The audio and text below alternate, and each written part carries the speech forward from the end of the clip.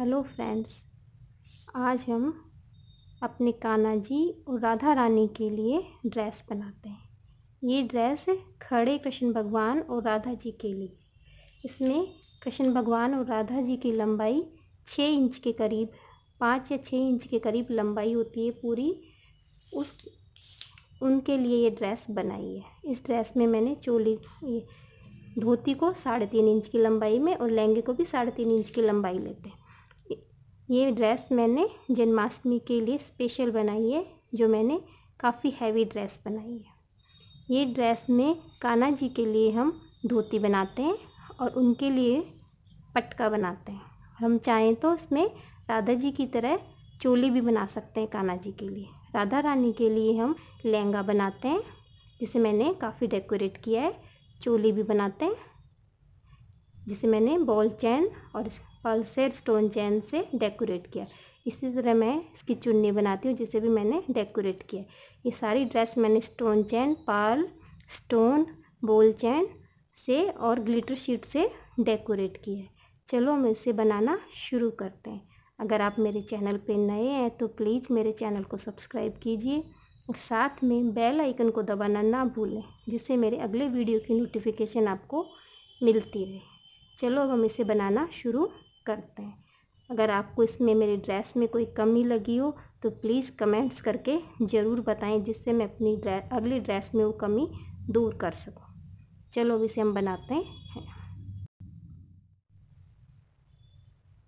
ये ड्रेस बनाने के लिए हम इस तरह का सिल्क का कपड़ा लेते हैं। ये मैंने रेड कलर में लाइट शेड लिया है। आप अपने हिसाब से कोई भी कलर का कपड़ा ले सकते हैं। सबसे पहले हम कान्हा जी की धोती बनाते हैं। कान्हा जी की धोती बनाने के लिए हम कान्हा जी की धोती की लंबाई नाप लेते हैं और कलर, उनकी कमर का नाप ले लेते हैं। मैंने ये एक पीस काटा है, जिसकी लंबाई मैंने साढ़े तीन इंच इसकी लंबाई ली है मैंने। जितनी हम लंबाई लेते हैं, उसका डबल हम चौड़ाई में कपड़ा लेते हैं। साढ़े तीन हमने लंबाई ली है तो ये मैंने सात इंच लंबाई में कपड़ा लिया है, जो एक्स्ट्रा उसे हम काट लेते हैं। आप अपने कान्हा जी के हिसाब से इसकी लंबाई ले सकते हैं। जितनी लंबाई होगी, उसका डबल हम चौड़ाई में कपड़ा लेते हैं। तो ये मैंने एक रेक्टेंगल कपड़ा काट लिया है। अब इसके पीछे लगाने के लिए मैंने ये इस तरह का लाइनिंग का कपड़ा लिया है। इस लाइनिंग के कपड़े को मैं तीन तरफ़ से इस तरह से सिल ले आती हूँ। ऊपर का एक हिस्सा हम खुला रखते हैं। तीनों तरफ़ से हम सिल लेते हैं इसको। मैंने इसके तीनों तरफ़ सिलाई लगा ली है। बस हम सीधा कर लेते हैं।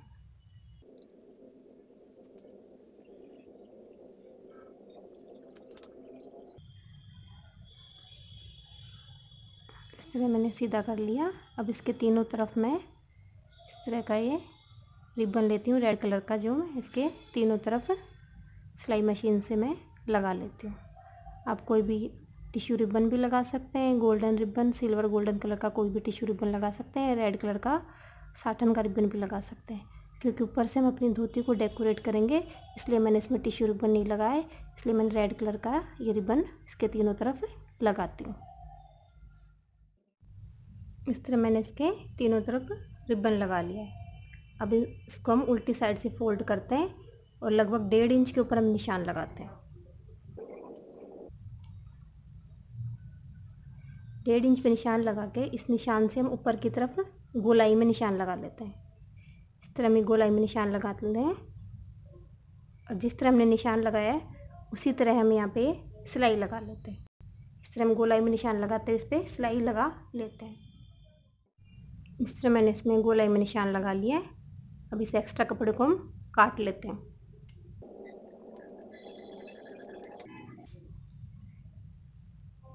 इसे हम सीधा करते हैं तो इस तरह हमारा ये यहाँ पे एक कोना बन जाता है। इस कोने के ऊपर हम इस तरह पकड़ के एक और एक इस तरह हम दो प्लेटें डाल लेते हैं। इस तरह हमारे धो, धोते के आगे का हिस्सा बन जाता है। ये हम सिलाई लगा लेते हैं। इसी तरह हम अपने कमर पे, कान्हा जी की कमर को नाप लेते हैं। जितनी हमारी कमर होती है, उस हिसाब से मैंने इसकी कमर ढाई इंच की है। तो मैं इसके ढाई इंच कमर कर लेती हूँ और जितना एक्स्ट्रा रहता है, उसके ऊपर इस तरह से मैं इसमें प्लेटें दोनों तरफ़ डाल के पूरी को सिल लाती हूँ। इस तरह मैंने आगे दो प्लेट डाल के सीधी सिलाई लगा ली है और ऊपर दो दो प्लेटें डाल के अपने कमर के हिसाब से धोती को तैयार कर लिया है। अब धोती के आगे लगाने के लिए हम जो डिज़ाइन बनाते हैं, उसके लिए एक पेपर लेते हैं, उस पर हम पहले इसकी डिज़ाइन बना लेते हैं। मैंने एक पेपर लिया है, ये पेपर में ये डेढ़ बाई जितनी हमारी लंबाई उतने लेते हैं तो साढ़े तीन लंबाई का लेंगी और डेढ़ इंच चौड़ाई का लेती हूँ मैं इसे।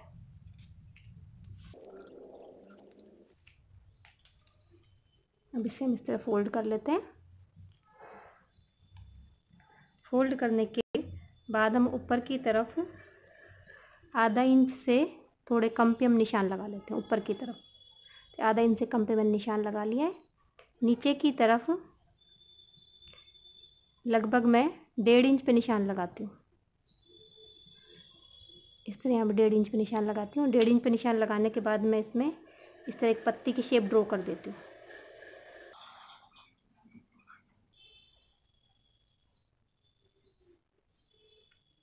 और जो हमारा बाकी का हिस्सा होता है उसमें हम इस तरह राउंड कर लेते हैं। इसको मैं काट लेती हूँ। तो इस हिस्से को सिर्फ़ हम ये कोना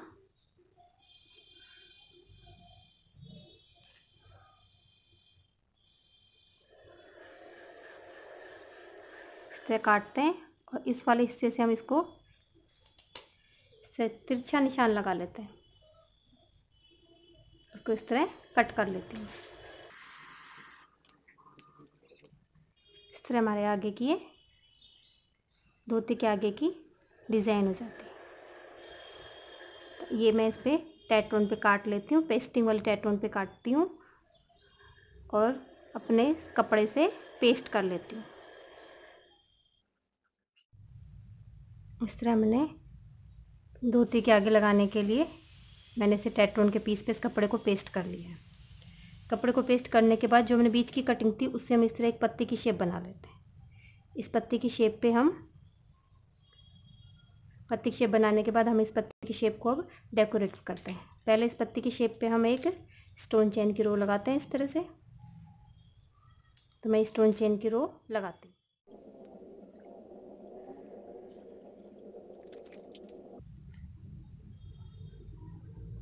ऊपर का थोड़ा सा हिस्सा छोड़ देंगे क्योंकि हमारी सिलाई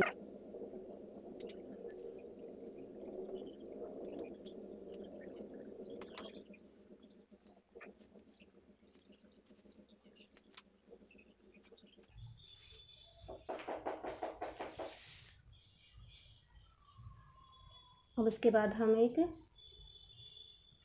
हाफ़ पर्ल की रो लगाते हैं। तो मैं इसमें छोटे वाले पर्ल लेती हूँ। तरह के छोटे वाले पर की एक रो लगाते हूँ।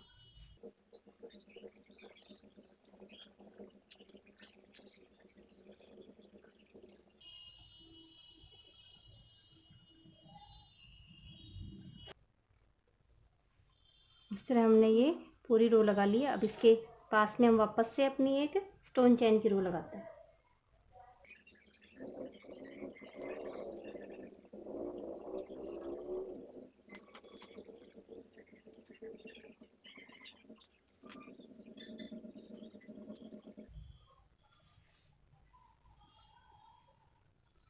इस तरह मैं स्टोन चैन की रो भी लगा लेती हूँ।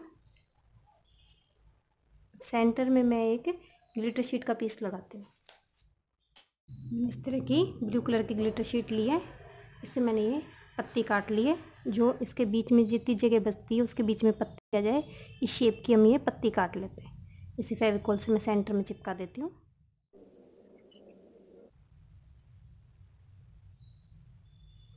उसके दोनों साइडों में हमने जो हाफ़ पर लगाए थे, ऊपर लगा देती हूँ।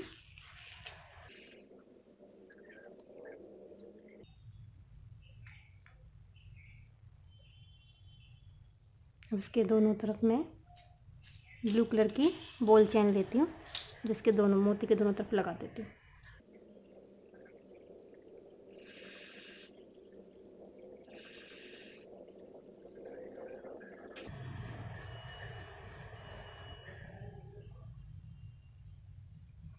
अब इसके आगे में टीयर शेप के इस तरह के स्टोन लगा देते हैं। और इसके ऊपर भी मैं ये तीन स्टोन लगा देती हूँ।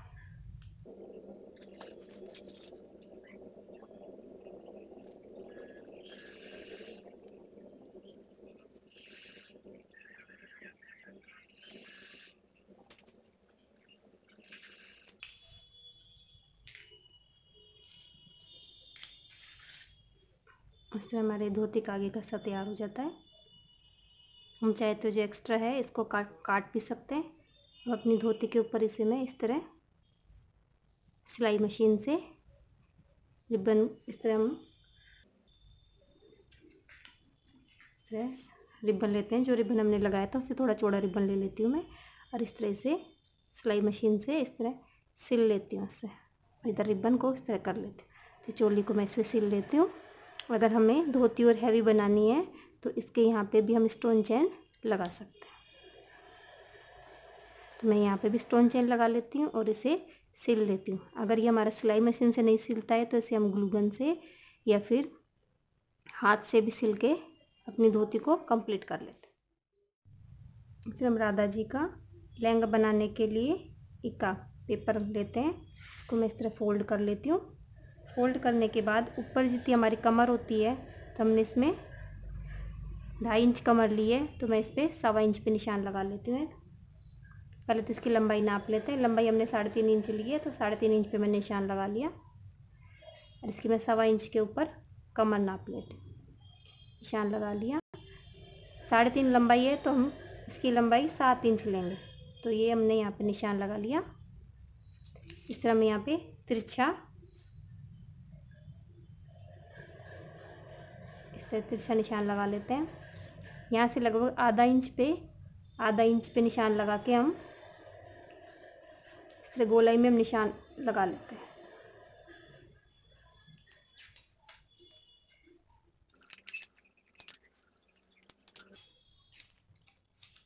इस तरह हमारा ये राधा जी का लहंगा बन जाता है। अब इसमें भी हम अपनी डिज़ाइन ड्रॉ डिज़ाइन ड्रॉ करने के लिए मैं इसको वापस इस तरह फोल्ड कर लेती हूँ और इसका बीच में निशान आ जाता है। तो यहाँ पे हम लगभग डेढ़ इंच के ऊपर निशान लगाते हैं।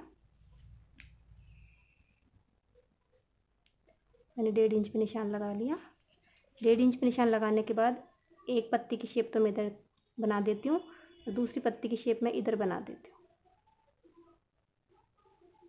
और सेंटर का जो हिस्सा है उस हिस्से में अपनी गोलाई बना लेते हैं। इस तरह। तो जो एक्स्ट्रा हिस्सा है, उसको निकाल देते हैं।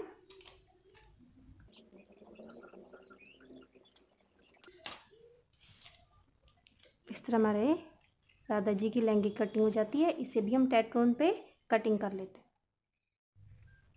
इस तरह मैंने ये राधा जी के लहंगे की भी टेट्रोन पे कटिंग कर ली है। इस पर भी हमें कपड़ा पेस्ट कर लेती हूँ। इस तरह मैंने अपने लहंगे को टैटून के पीस को कपड़े के ऊपर पेस्ट कर लिया है और जो हमारी ये नोक वाली डिज़ाइन थी, इस डिज़ाइन के ऊपर हम इस तरह पत्ती की शेप की डिज़ाइन इधर से भी और इधर से भी इस तरह पत्ती की शेप की डिज़ाइन हम इसमें ड्रॉ कर लेते हैं इस तरह। पत्ती शेप की डिज़ाइन ड्रॉ कर लेते हैं और जिस तरह हमने अपने धोती के आगे के हिस्से को डेकोरेट किया था, वैसे इसे भी हम अपना डेकोरेट कर लेते हैं। इस तरह हमने अपने लहंगे को भी डेकोरेट कर लिया है। जिस तरह हमने धोती के आगे के हिस्से को डेकोरेट किया था, वैसे हम लहंगे को भी डेकोरेट कर लेते हैं। लहंगे में मैंने ये पत्तियाँ बड़ी लगाई हैं और यहाँ पे मोती लगा के इसको डेकोरेट किया है। ये डिज़ाइन मैंने लड्डू गोपाल की ड्रेस में भी डेकोरेट किया है। तो मैं आपको डिस्क्रिप्शन बॉक्स में उसका लिंक दे दूँगी, वहाँ जाके आप उसे पूरे डिटेल से देख सकते हैं। इस तरह मैंने लहंगा भी तैयार कर लिया है। इस लहंगे को भी हम ऊपर से अपनी धोती को जिस तरह हम रिबन से सिलाई करेंगे, वैसे सिलाई कर लेते हैं या फिर ग्लूगन से इसको रिबन से कर लेते हैं कंप्लीट। तो हम इसे अपनी लहंगे को भी कंप्लीट कर लेते हैं, अपनी धोती को भी कंप्लीट कर लेते हैं। मैंने अपनी धोती को भी रिबन से सिल लिया है। इसे हम, अगर हमारे सिलने में प्रॉब्लम होती है तो हमें डेकोरेशन करने से पहले भी इसे हम सिल सकते हैं और बाद में इसे डेकोरेट कर सकते हैं। मैंने नीचे वाले हिस्से पे भी इसमें एक एक एक लाइन स्टोन चैन की लगाई है। और ऊपर सिलाई करने के बाद मैंने इसमें दो रो स्टोन चैन की लगाई है। अब इस तरह हमारे कान्हा जी को ये पहन लेंगे। इस तरह कान्हा जी को हम ये अपनी धोती पहना लेंगे। इस तरह हमारी ये धोती भी कंप्लीट हो जाती है। जिस तरह मैंने धोती को कंप्लीट किया था, उसी तरह मैंने राधा जी के लहंगों को भी कंप्लीट कर लिया है। उसे रिबन से सिलाई कर लिया और ऊपर मैंने दो स्टोन चेन की रो लगा ली इस तरह से राउंड में करके हम अपनी राधा जी को पहना लेंगे। इस तरह राधा जी को ये लहंगा हम पहना लेंगे। इसे थोड़ा सा मैंने पीछे टैक्ट्रोन लगाई है तो इसे हम थोड़ा सा किसी चीज़ के ऊपर इस तरह हल्का सा राउंड कर लेंगे, जिससे पूरी तरह से राउंड में हो जाएगी। इस तरह राउंड करके फिर हम अपने राधा जी को पहना लेंगे इस तरह। तो इस तरह हमारा लहंगा कंप्लीट हो गया। लहंगा कंप्लीट होने के बाद हम राधा रानी की चुन्नी बनाते हैं। चुन्नी बनाने के लिए मैंने इसे आठ इंच लंबाई में लिया है और इसे तीन इंच चौड़ाई में लिया है। इसे तीन इंच चौड़ाई में लेके मैंने पीछे अस्तर लगा के चारों तरफ़ से रिबन से सिलाई कर ली है। उसके ऊपर मैंने स्टोन चैन की एक रो लगाई है और सेंटर में मैंने इस तरह से फ्लावर बनाए हैं। एक सेंटर में हाफ़ कट मोती लगा के उसके बोल चैन लगाई है। फिर मोती लगा के ऊपर से मैंने बोल चैन लगा के स्टोन लगा के इस तरह से मैं तीन फ्लावर बनाए हैं जो खूब हैवी चुन्नी हमारी राधा जी की बन जाती है। इस तरह हम अपनी चुन्नी को भी कंप्लीट कर लेते हैं ये। हमारी चुन्नी इस तरह से पूरी बन जाती है। जिस तरह हमने चुन्नी बनाई है, इसी तरह हमने हमने कृष्ण भगवान का पटका भी बनाया। पटका बनाने के लिए मैंने एक सिंपल सीधी पट्टी ली थी। ये मैंने डेढ़ इंच चौड़ाई की ली थी और आठ इंच मैंने इसे लंबाई की ली थी। और इसे इस तरह पट्टी को हाफ़ मोड़ के दोनों तरफ़ पत्ती की शेप दे लेते हैं और इसे भी हम इस तरह से डेकोरेट करके पटके को कंप्लीट कर लेते हैं। इस तरह हमारा एक काफ़ी हैवी पटका बन जाता है। इस तरह हमने राधा रानी की चुन्नी और कृष्ण भगवान का पटका दोनों हमने कंप्लीट कर लिए। चोली बनाने के लिए मैंने एक सीधी पट्टी ली है। इसके पीछे मैंने अस्तर लगा के साइडों में दोनों तरफ़ रिबन से सिलाई कर ली। इसकी लंबाई, इसकी चौड़ाई मैंने एक इंच ली है और इसकी लंबाई मैंने साढ़े पाँच इंच ली है। तो मैं इसके इस दो पीस कर लेती हूँ। दो पीस होने के बाद हमारे चोली के दोनों हिस्से बन गए। अगर हम चाहें तो चोली को भी दोनों तरफ़ स्टोन चैन से डेकोरेट कर लेते हैं।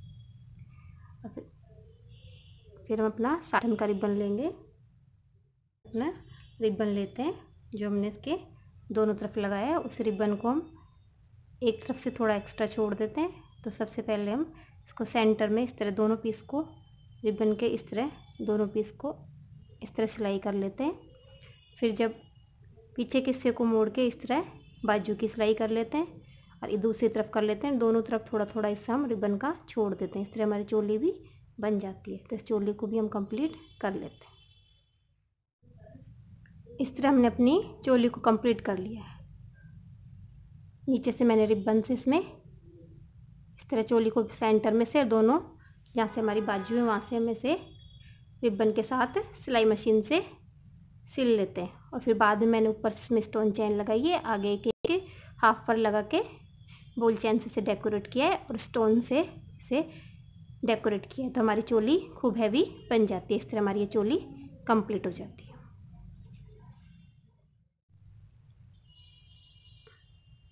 ये हमारे कान्हा जी की धोती बन गई है और ये हमारे कान्हा जी का पटका बन गया है। अगर हम चाहें कान्हा जी की चोली बनाना चाहें तो हम अपनी राधा रानी की तरह चोली बना सकते हैं। उसमें हम इसमें स्टोन चेन लगा लेंगे, आगे हम डेकोरेट ना करेंगे सिंपल चोली बना लेंगे राधा रानी की तरह, जिस तरह हम लड्डू गोपाल की बनाते हैं। तो ये तो हमारे कान्हा जी का कंप्लीट हो गया है और ये हमारी राधा रानी की लहंगा बन गया है। ये उनके ऊपर की सर की चुन्नी बन गई है और ये उनकी चोली बन गई है। इस तरह हमारी ये ड्रेस कंप्लीट हो जाती है। अगर आपको मेरा वीडियो अच्छा लगा हो तो इसे लाइक कीजिए, शेयर कीजिए और मेरे चैनल को सब्सक्राइब कीजिए। Thank you for watching my video